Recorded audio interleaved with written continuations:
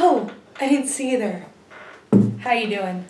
My name is Shelby Gogrieve. I'm a senior on the 2014 IU softball team, currently modeling the Adidas 2015 turf model. Gorgeous, right? So, the reason you're watching today is because we are about to have a special feature on the 2014 senior class, our farewell to Indiana University Athletics. Um, so, I hope you enjoy. Sitting down with our first senior in the 2014 class, Bree Saucedo. Thank you for sitting down with me. Mm-hmm. So I want to start off. It's well documented that you've had some injuries over the course of your career that missed the better portion of your junior and first senior season. Yeah. Now you're in your fifth year, but coming back this year, you're batting close to 350. That has to just feel amazing that all that hard work, all that rehab that you did has paid off.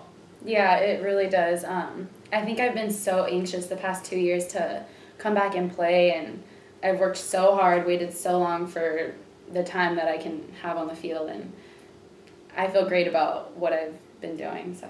Was there during those two years that there were some days you just wake up, your legs are hurting, you're saying, I can't do this rehab, this is too much, but then you see the rest of your teammates out at practice and you say, this is why I'm going out there each day and doing it?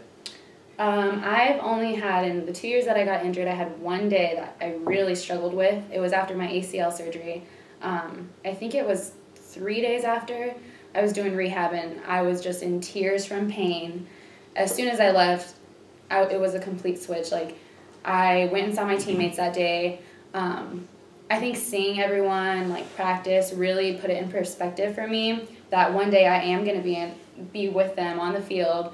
So while I can take in everything I can from seeing what the game looks like from the dugout to understanding the game in a different way um, so I think my timeout really helped me. Mm-hmm. When when did you kind of first realize that? Was it relatively early in the process, or when you kind of saw from the dugout, oh, I can see this, I can do that, or something in the field that you? I think really early on. I think my first game out, um, the day I hurt my, um, broke my foot against Ohio State my junior year, um, came back the next day and the game just looked completely different. Like seeing everything from the dugout was just it, it was like a whole different world. Like you see the game so much differently and I honestly think it helped me understand softball better.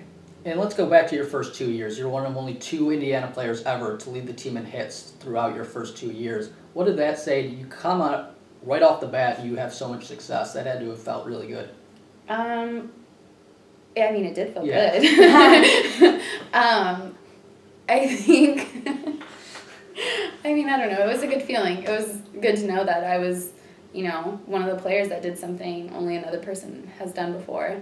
Um, I think it put a good sort of pressure on me to keep up what I was doing, to get better every year. And even though I didn't play the next two years, I feel like this year I've, I've come out and still tried to be as and the field that's right behind us, that was something that was promised to you guys during your recruiting process. Mm-hmm. What's it like playing on this and kind of just looking out at it now your senior year and playing on it for the second second year of its inception? Yeah, I think it's awesome. I'm I feel like everything happens for a reason and I am so thankful that I get to play on this field. It's gorgeous. I love it. And I'm excited that I got to play on it.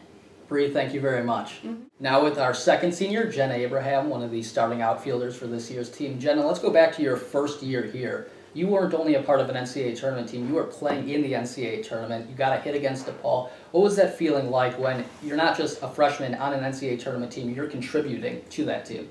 Um, that was a really incredible feeling. Um, being in the NCAA tournament is just awesome. Like, it's, you get all these stuff that you just never even realize that people get, and it's just a really incredible feeling. And um, getting that hit was cool, and it just kind of, for me, it's kind of what I expected of myself. Um, mm-hmm. And as a freshman, I kind of was, like I said earlier, was shy and kind of played played a little different than I do now.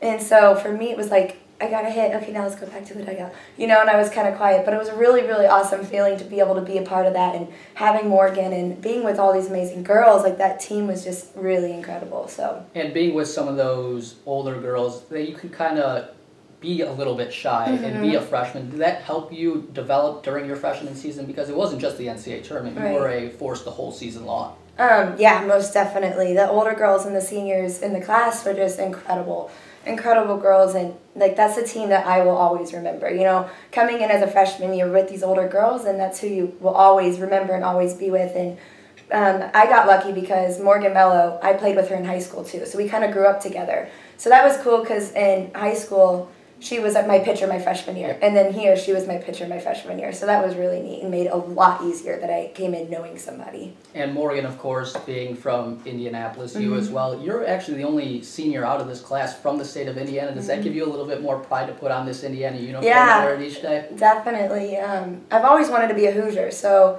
growing up and finally getting to do it and knowing that it's kind of coming to an end is kind of like it's a little brings a little tears, but it's cool to see Indiana on my chest and have be able to be lucky enough to have my family and all my friends get to come and watch me play from my hometown. And now sitting here as a senior, you have to then now develop the leadership role. You have to be that what, calming force on the Mhm. team. What's it been like now stepping in from a shy freshman to now being a senior on this team? It's actually been kind of natural. Um, I've kind of done that like in high school too, but it's kind of at those roles there were holes and I needed to step into them. And I'm the oldest person playing in the outfield, and that's been easy for me because I see the younger girls that come in, and especially this year, the younger girls, and I have really good connections with all three of them, and I just felt like I needed to help them, and that's kind of my personality. I like to help people, and I saw them struggling, and I need to help them. I'm not the kind of person that's going to sit here and yell at somebody. I'm the person that's going to take them under the wing after they've been yelled at and be like, all right, this is how we're going to work through this kind of thing. So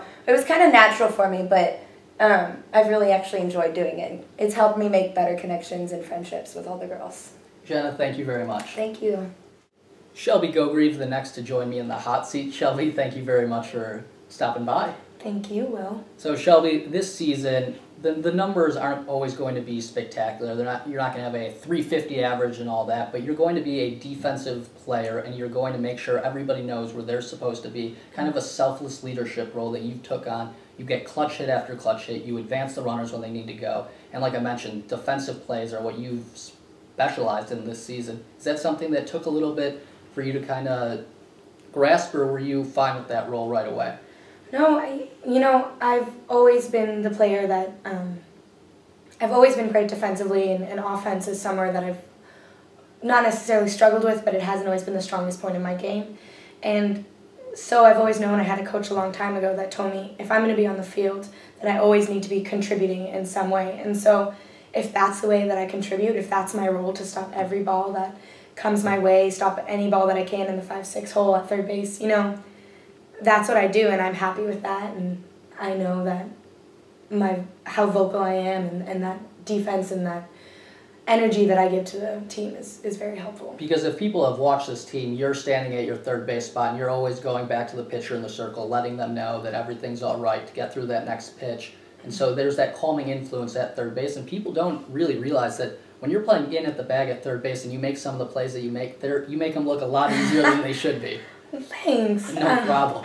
Yeah, you know, I have a very close relationship with my pitchers, and they there's so much pressure on them throughout the game. You know, throwing strikes, making plays that come back at them. They control the pace. They do so much. So anything that I can do to ease their job is what I'm going to try to do, and yeah, I enjoy it. It certainly helped out the pitchers, I'm sure, in the circle. And um, now getting back to this field that's behind us right Mhm. now, you guys played a little bit further down on Fee Lane at a little bit of an older field, Yeah. not necessarily as sparkling and brand new as this one with indoor batting cages. Not exactly.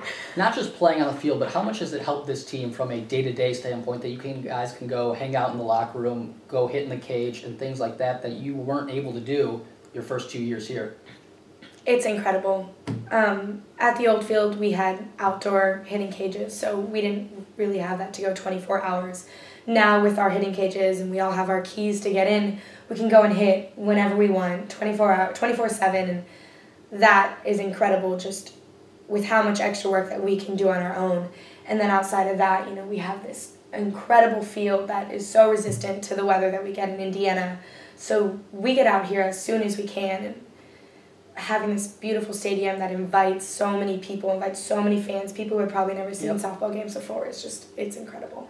And now a little bit off the field, you've become a somewhat of a singing sensation, singing with Victor Oladipo Oh yeah. during the award ceremony. Is there going to be some singing in your future, or uh, you going to stop with that? How's it going to work out? Um, you know, in my perfect world, I would love to spend the rest of my life singing and have a career singing. Um, that's knowing that I have singing in the future is kind of what's m- making me okay with my transition out Yeah. of softball because I know I'm gonna have something else to put all of my energy in, something that I love just as much as I love softball. So I'm very excited about that. I, hope to pursue a singing career in my future. What's scarier to you right now? A spot bottom of the seventh, bases loaded, two outs, you're down by three runs, you need a grand slam, or you singing in front of three thousand people, Oh my goodness. putting you on a spot right here.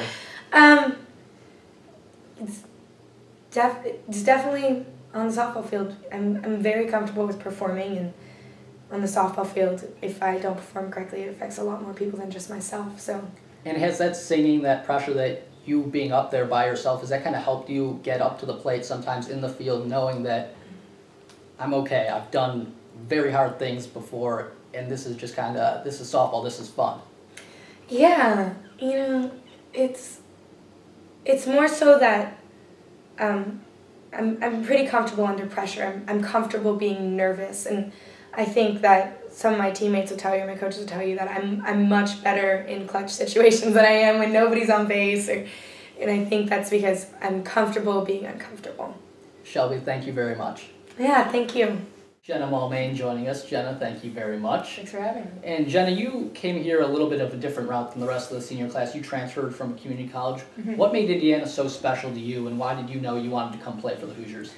I wanted to play for the Hoosiers because when I visited, the whole athletics just felt like a family atmosphere rather than the other schools I visited. I felt like they were kind of separate from the university, but I felt like this was more of a family and it was really athletic oriented, which made me really excited. What was the biggest difference from you playing in the community college level to going to Division One softball? Was it a tough transition, or did you find it relatively smooth? Um, I found it smooth. I felt like it was an easy transition. Um, overall, the resources here are just terrific and like so much better than the community college I came from.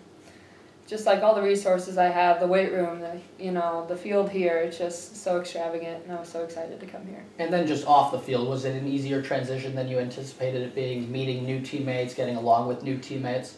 Oh yeah, I mean they embraced me with open arms, and I felt so comfortable with them already. And um, they already had an apartment set up for me, so like it was pretty smooth. Like I didn't have any complications or anything, like, excuse me, anything like that. And uh, just the teammates were so great. And now being an upperclassman, going back to last year, your junior season, what was your leadership role? Are you more of a lead by example, a quiet leader? How does that work for you? Um, probably more of an example leader, like you said. I'm kind of quiet, but I just want to be there for my teammates. You know, especially in my role, like that's all I really can do. So I just want to be there for them and just be a support role for them. And you mentioned the field behind us right now being Right. as extravagant as it is, playing on it, being able to hang out in the clubhouse, being able to go to indoor hitting cages. That is not something that softball teams around the country, let alone teams in the Midwest, get to use. So, what's it been like for you and the rest of your teammates to use it? Um, it's just so great because no matter what the weather is, you can go in and get some extra cuts when, you know, other teams in the Midwest can't really say that. Um, it's just a great resource no matter what you want to do. Get some extra cuts, you know, field some extra balls with the dirt we have here. It's just so amazing. No matter what time of year, you can get some work in. And in your three years, what would you say your fondest memory is of putting on the uniform? And was it a certain game? Was it a certain play you made? Um, not certain plays so much. I would just say being a Hoosier in general and just the friendships I've made here with all my teammates. And when you look back, you're just going to think of all the people you met and like the experience you had. And I think overall it's just a great one. Thank you very much, Jenna. Thank you. Megan Murphy, the fifth and final senior to join us in this senior feature. Megan, thank you very much. Thank you for having me. Megan, it's been a very eventful four years for you. You've played in an NCAA tournament, you've thrown a no hitter, and then now your senior year and your junior year, you move into a new stadium. What's the one thing that kind of sticks out to you throughout those four years?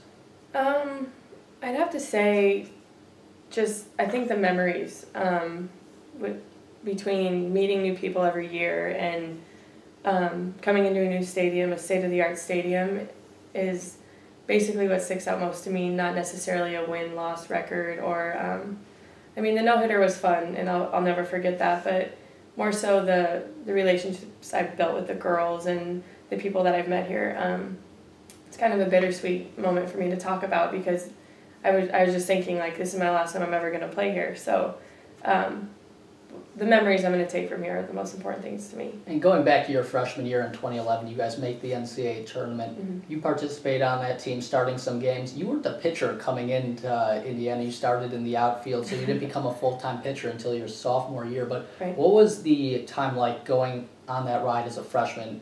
Have your team go to an NCAA tournament. It was awesome. Um, I wasn't really quite sure what to expect, so I think just soaking everything in and knowing that since we had a pitcher like Morgan, I wasn't going to be the pitcher that year, and that was okay with me because, I mean, she was so successful for our team, and as long as the team was successful, I couldn't really ask for anything else. So I embraced my role as being an outfielder and sometimes being a designated hitter, and um, and then going to NCAA's was awesome. I just remember one of my favorite moments is actually the selection show uh, when we found out who we were playing. We were going to DePaul, um, or we were going to Missouri to play DePaul. Um, so that was really cool. Just being a part of that experience and saying that I've been there is really awesome. And you mentioned Morgan Melloh your freshman year. She's one of the greatest pitchers the school has ever seen and one of the best in the NCAA during her time. Yeah. What was it like learning from her? Because you didn't pitch that season, but then you come back your sophomore year, and that's where you really started to become the pitcher that you are. Yeah, um, Morgan and I have a really special relationship because we're both lefty pitchers, and I learned a ton from Morgan. I, if I have to say, I think my sophomore year is probably my most successful year, and I attribute a lot of that to what she taught me, and um, she kind of gave me a different perspective on the game. She wasn't. I looked at her more as a friend um, who was really knowledgeable about pitching, and not necessarily a coach. So that was that was nice to learn from her. Um, but I would say that I, it's a blessing that Morgan came here, and I'm so lucky that I got to um, play under her and, and play with her and have her um, by my side to help me become more successful. And then you mentioned the no hitter a little bit, but what was the feeling like during the game and then after the game? Because I'm sure pitchers will say, I wasn't thinking about it, I didn't know I was throwing a no hitter, but really deep down inside, you know when you get to the sixth inning, there's a zero up on that scoreboard in the hit column. That had to have been something just to kind of look back and say, wow, this is special. Yeah, I don't really think it hit me until until I heard coach say that was a no no. Um, I mean, I obviously knew. I actually didn't know until the fifth inning or the fourth inning, excuse me, because it ended in five. I think um, that I had a no hitter going, and I was like, whoa, that's pretty good. And then the other team was kind of heckling me in the dugout, um, like they wanted to break it up so bad, but.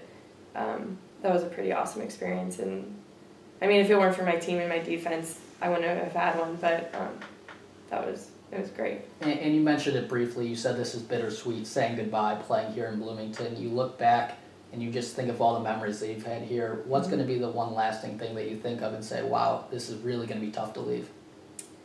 I would have to say um, the girls I've just become really close with and the feeling of belonging to a team because I've played for so long and I've, I've played softball for 17 years and I think having the game that I've I grew up loving and playing all the time is just coming to like a screeching halt and in like three weeks I'm gonna wake up and I'm not gonna be a softball player anymore. Um, but I think that'll be the hardest transition for me and, and of course moving back home I, I came here from Colorado because I wanted to go somewhere where I didn't know anyone and kind of create a new home for myself, a home away from home. And it's going to be hard to leave here. It's going to be really hard for me to leave Bloomington. Megan, thank you very much. Thank you, Will. Sitting here with the class of 2014, the seniors Jenna Mulmain, Megan Murphy, Bree Saucedo, Jenna Abraham, and Shelby Gogrieve. These are the questions everyone wants answered, so I'm going to start off with a game show related question. If you were all on an island in Survivor, who would get eliminated first? I know you guys were laughing. you, you guys were laughing before this started, so I'm going to ask if there's going to be a clear cut answer to this. Um, I think I'm gonna go with Jenna because she's a little broken already. she's got bags and knees. she gets sick a lot, but we love her. And And Jenna, you raised your hand. Yeah, I picked myself. I, I don't think I do very good in the wild. When I go camping, I'm like a camper. I don't do tents. You guys have agree with that, Yes, Jennifer? Who get who goes the furthest? Who can survive outdoors the longest? I might say Megan because she's Yeah. from Colorado. She does the outdoors. I was actually going to say that exact thing. I, that's something about the Colorado thing has to keep Megan Yeah. out. I've been told I'm pretty earthy. You can survive like I don't even think you get tents in Survivor. You have to make your You own. don't, yeah. Can you Yes, create yeah, your own fire? You do? I would not do that. I think you have to create your own fire. I don't think you do it. You Oh start my with God. I could see Bree being pretty scrappy though. Finding some crazy yeah, way to just putting something, being really creative, putting something together, like feeding off of small bugs. well, you have to catch the bugs yourself too, and then catch think the I think I could do that. To survive, I think I could do that. So Jen goes quickest, and Megan lasts the longest. Mm-hmm. Perfect. Okay, next question. Shelby, we know you're the singer in this group. That's, No. Definitely. Who says? Out of the four of you guys, if we were doing an American Idol with this team, do any of you guys rock out in the clubhouse or in the dugout? I think Jenna. Jenna, Jenna does. Jenna can belt it out. Yeah. Does I mean think she has the best voice, or does she just sing the most? She, I think she sing a sings lot. along, along with a lot of the songs. Like driving to class, I noticed yesterday, like every song that comes on, she just starts singing along, like in her own little world, like knows every word. Yeah, Megan and I are her roommates too, and we've always heard Jenna rocking out in the shower, just Can top of her lungs. As loud as I Definitely can. attest to that. Yep. What- what's your Beyonce go-to? Pandora Station. Oh, I like country music a lot. Usually, if there's any country song, I can I know most of the words. With Brian, Jason, all Yes, yes, for sure. But Any, the po- loud pop songs, I can, you know, I, I'm really bored with those. I've, I've noticed I've been around this team f- throughout the whole year. Frozen is the I feel like the main Oh, yeah. movie with this team. Is there any other knows every single? word. You I do. you- I She really lets it go. we watched it what on the way home from Michigan. Michigan. How many times had you seen it before that time? Um, I got it in Michigan, but I watched it three times that week after I got it in Michigan. Perfect. Okay, on to the next one.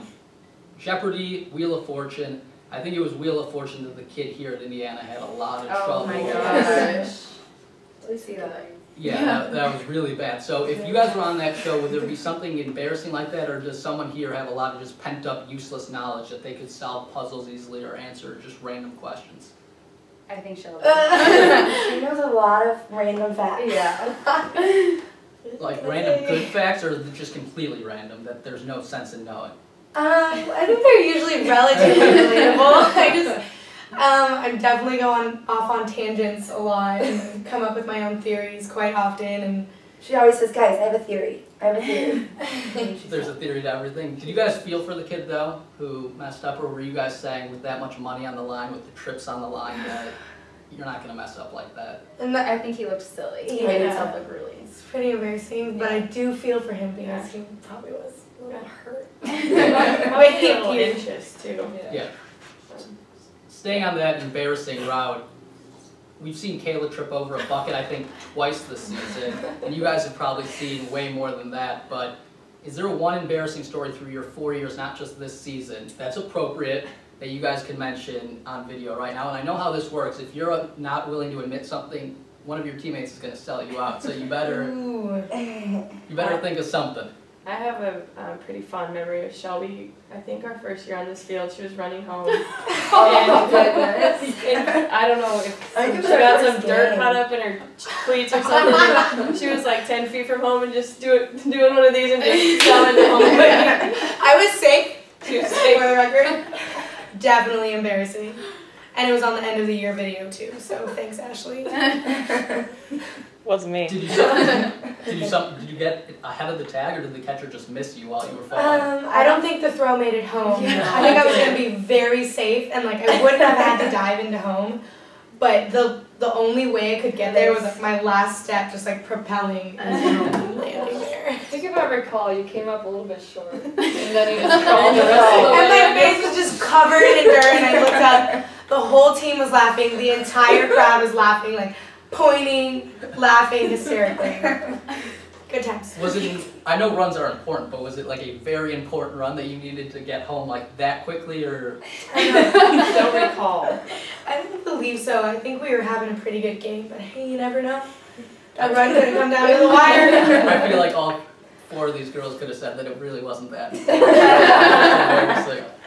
Yikes. Any other stories that doesn't put Shelby on the spot that puts one of you four on the spotlight? I know Miss Abraham has a pretty good one. I do. My freshman year, I was so I was really quiet as a freshman. Like didn't really ever say anything. So we were inside Mellencamp, and we had you know the ball cards that we have, and they had those silly things on the front of them that stop and they don't move.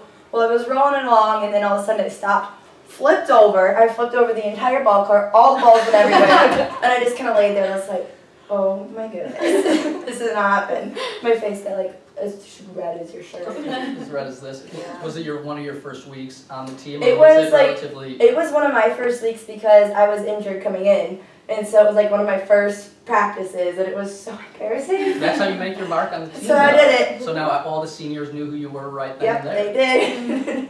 One of the best memories I have here at IU in softball team is that image of Jenna flipping, Flipping, like ball. it didn't just fall, like I flipped over the ball card. As the other freshmen on the team, were you guys like, oh, thank God that wasn't me? oh my god. I just remember seeing it from afar and it was like, oh, well, that, that's see. I remember um, one practice we were in Mellencamp and Jenna kept fouling all these balls off, and every time the ball happened to f- come hit her on the head, like it bounced off of the, the screen or our shell and bounced right in the head, hit off the wall, bounced and hit her in the head, like four balls in a row. It was So so funny. funny. It was a minefield. It was hilarious. Like no matter where she was, like she was over by the wall, and still somebody else hit a it, and it magnet. still hit her. Her in the head head. was like a magnet. It was funny. I So just got my helmet on to get drinks and stuff. Like. Earlier this season, we started a Twitter hashtag called Oh. the Bree Chronicles. because I mean, Bree Bree is pretty composed.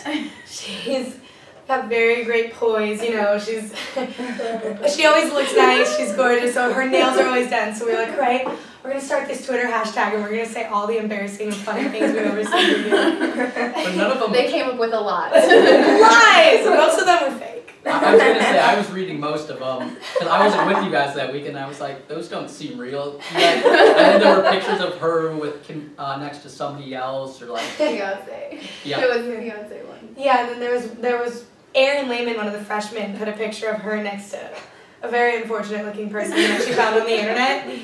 And they were both in like bikinis or something or smiling Aaron tweeted and said, Went to the pool with Bree last summer and this was us, hashtag the Bree Chronicles. So you guys haven't caught Bree in one, like this is how you had to embarrass her because she hadn't had one embarrassing moment. I mean, we're sticking with appropriate, right? Yeah. we're I was saying- gonna say that's off the I think, air. I think this is, I'm pretty sure this is gonna get rated PG at the end so we have to keep it I'll relatively clean. On DL then. But during rain delays, you guys create the Bree Chronicles. Is there anything else that you guys do during delays? Because this season, the beginning of the year, there were a lot of delays weather-wise Oh that you guys had to deal with. we eat. Yeah. All I can think of Yeah. is hot dogs. We eat a lot. We got hot dogs and popcorn. Yeah, we eat a lot. The same day we created the Bree Chronicles, we were at the field for probably like Ten Nine hours. hours. Yeah. And we were just supposed to have one game, I think, so we were planning on eating after our game, and then, um, so we didn't have anything to eat. We had a few snacks, but we were all starving, so we had like 20 hot dogs. we had our manager go grab them for us, and it was heaven. On, on that food route, can any of you guys cook well? Is there one girl that you guys go to their house, or you guys? I can cook really well. I like to cook. What's the specialty? Hmm. I don't really, I wouldn't say I have a specialty, but I'll take something that I've never cooked and make it. I mean, Make it good. Enchiladas, fish Mm. tacos. Is there like a Team Taco Tuesday night, or do you guys have like a set night where it's go to Meg's house and she makes something? no, I feel like See, we did that a a lot. We used to do that more, like have everyone eat together, but um, not so much in season. It's a little bit harder.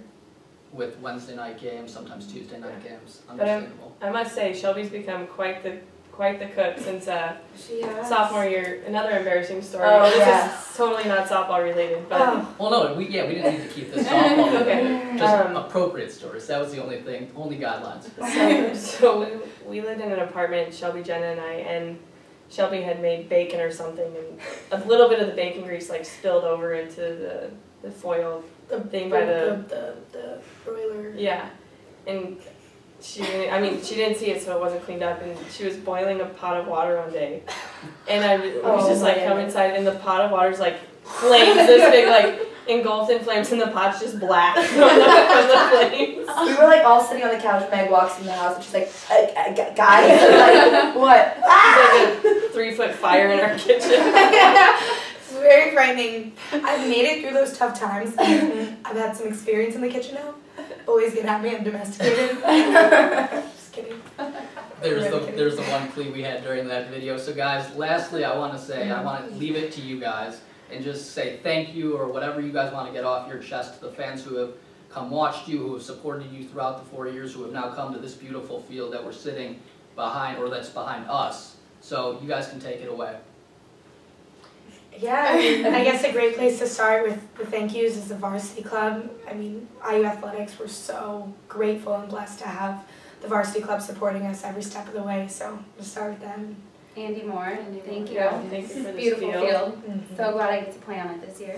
Thank you. Yeah. I think um, thanks to all the fans. I know we've had a kind of consistent student base who's usually at every game. Mostly the boyfriends, but uh, just thanks to all the fans who've uh, come to support us. Shout out to Preston. Yeah. And Louise. And Louise, yeah. Um, thank you so much to the athletic department, Fred Glass, and all of our administrators are so great to us. So we appreciate all our time being supported by you as Our well. families, thank you for supporting us, coming to our games, being there for us. All the little girls that come to the Oh my games, gosh. they love it. They're so happy to be there. And we're happy to have them. And I can see it from here. Thank you to the field crew that gets the Oh, field yeah. ready every Oh, single yeah. day, countless hours Nice. go into it. I just want to thank them real quick. Yeah. 2014 senior class, guys, thank you very much and Thank good luck this weekend against Iowa and the rest of your lives down the road. Thank Thank you. you.